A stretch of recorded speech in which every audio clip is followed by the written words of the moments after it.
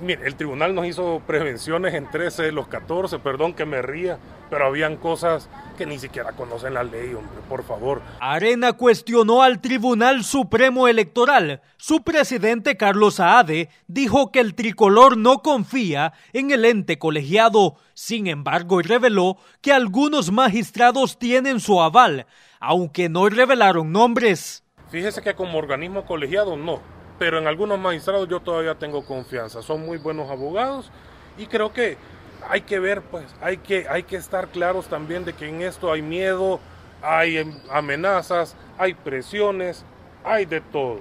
Pero eso no se justifica también para pisotear la Constitución, pues. Saade también habló sobre los resultados de la última encuesta de Zip Gallup, que revela que el partido tricolor solo tiene un 2% de aceptación entre la población salvadoreña. No, esas encuestas son de mentira, hombre. Seamos serios, por favor. No, miren, las proyecciones cuáles son, yo sé que vamos a salir mejor que la vez pasada.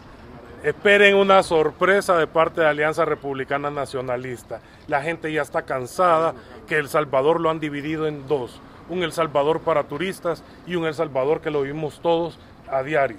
Estas declaraciones fueron brindadas durante la inscripción de 20 candidatos del Partido Arena para competir por el Parlamento Centroamericano en 2024. Moisés Bonilla, Noticiero Hechos.